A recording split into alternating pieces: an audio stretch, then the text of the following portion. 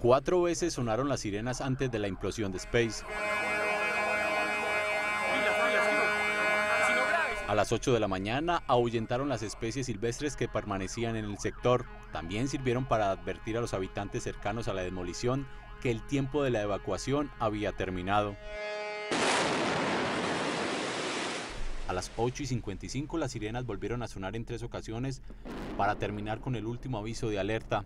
A las 9 en punto, uno de los obreros de Atila presionó el botón que terminó convirtiendo en 30.000 metros cúbicos de escombros lo que era el conjunto residencial Space. Representaba un riesgo latente para la vida de los vecinos de la zona de calamidad y cualquier otro que por algún motivo se acercara a ella. Después de la nube de polvo y sobre la montaña de escombros, las autoridades recordaron que la tragedia del 12 de octubre del 2013 que dejó 12 personas muertas y otro centenar de afectados, se pudo evitar. El país vivió el dolor de la pérdida de 12 vidas que pudieron evitarse. 200 kilos de indugel fueron usados en la demolición de los 79 apartamentos de las cuatro fases que quedaban de Space.